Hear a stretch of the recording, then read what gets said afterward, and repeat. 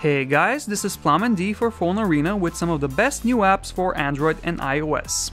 First up, we have Seeing AI by Microsoft for iOS. This is an awesome AI by Microsoft to help the visually impaired, as the app will make sense of what you're pointing the camera at and narrate it. Some of its capabilities include recognizing people and their emotions, trying to read out short texts for you, and making sense of the various objects in your surroundings. 37 year old man with a beard looking neutral. I'm not 37. Moving on to Sticky AI for iOS.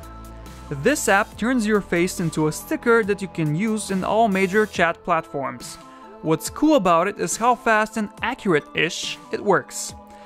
It's pretty good at detecting human figures and separating them from the background. So if you find yourself a nice one color wall to take a selfie up against, you'll have a you sticker in no time. At number 3 we have LiquidSky for Android. LiquidSky is a cloud gaming service, which means that it gives you access to a super powered PC so that you can play modern games remotely from your not so powerful machine. The service is now making its first strides in the mobile market as an Android open beta app. All you need is a good strong Wi-Fi connection and some money in the bank and you could be playing Dark Souls on your phone.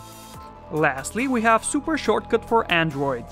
This app acts like a favorites folder but with a cool twist. The first time you open it, you choose the apps you want it to house. From then on, all you need to do is tap and hold on the Super Shortcut icon.